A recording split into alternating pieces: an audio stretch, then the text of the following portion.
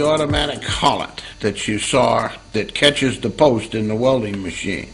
It opens and closes automatically to catch the post, which is shot down through the center with the uh, escapement and pops out the bottom and is caught by the catch plate right at the right height. You saw that in the welding machine.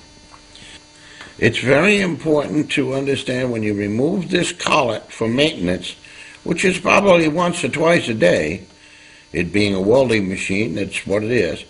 It's important that you replace the collet, push the feed tube down into the collet, then put the collet up into the machine. Very, very important. I think I will go back and show that in the machine afterwards. So, maintenance and replacement on these collets. You have the collet body, collet shank, collet arm, collet hinge, collet spring, and collet shoes. These shoes are what require most of the maintenance. I'm now going to dismantle this collet so you can see how it works. I'm going to take the collet arm off.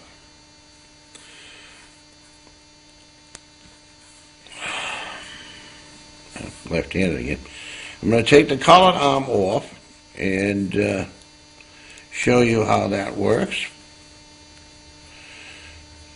This is uh, once a day or so that you will have this maintenance to, to perform. These electrodes in welding machines are a problem. That's good right there. There's the rear collet shoe and the uh, socket cap screw that holds it in place. There's the collet hinge and the collet arm itself, and there is the collet spring.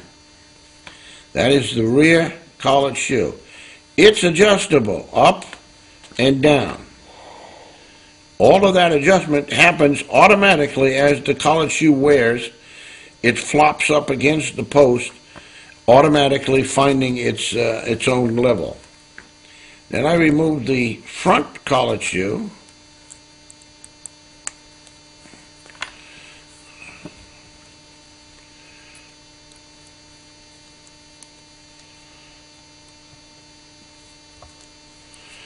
Front, collet shoe, two screws, and the front shoe comes out.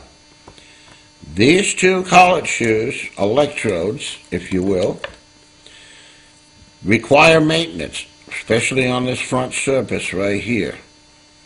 I will show you how that's done. In order to perform the maintenance on these collet shoes, the first thing you do is this front shoe, which is the stationary shoe, has a V groove in it and it gets worn out from the constant firing of the post.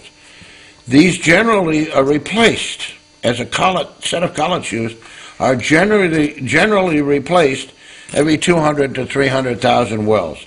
They become worn to a point where they're not uh, they're no good.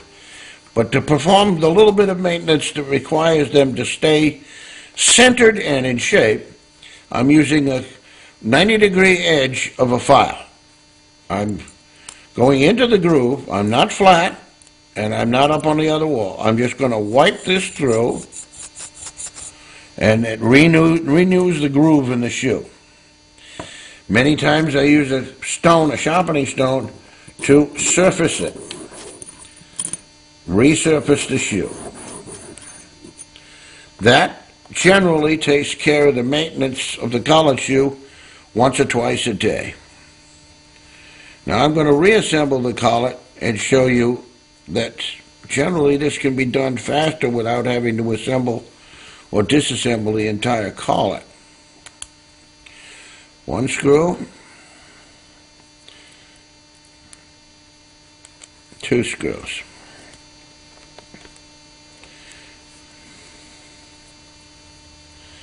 Tighten that in. Now, the rear collet shoe generally is flat filed on this surface here. This is the contact point right there. And it requires cleaning. I replace the collet spring and I replace the collet arm in its seat with its collet shoe. You can see I'm flexing this back and forth to find the right level to get this screw to go home. This pivoting screw will periodically have to be replaced because it's being worn severely as the hinge pivot and you'll have to replace this screw throwing away the old one. Now, that collet is back assembled. I drop a post through to make sure that it's going to be centered all right, and it's fine. You can see here that its adjustment is constant, hour after hour.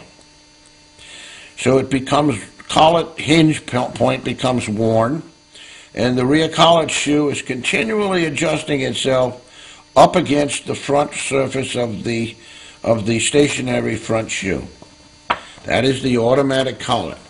When you re- pull your maintenance, you've done your maintenance on your collet, before you can go back and replace the collet in the machine, you've got to pull the feed tube down so you can see it sticking out. You gr- firmly grasp the feed tube and you push the feed tube into the top of the collet firmly so that there's one even flow of air with the post so that there's no restrictions. Then you replace the collet back into the machine. Removing the collet from the machine for maintenance. You use an Allen wrench on this side and you will notice that this is just finger tight.